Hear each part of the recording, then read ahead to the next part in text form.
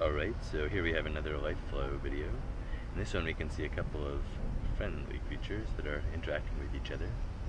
The little pink rectangle seems to be chasing after the larger yellow path.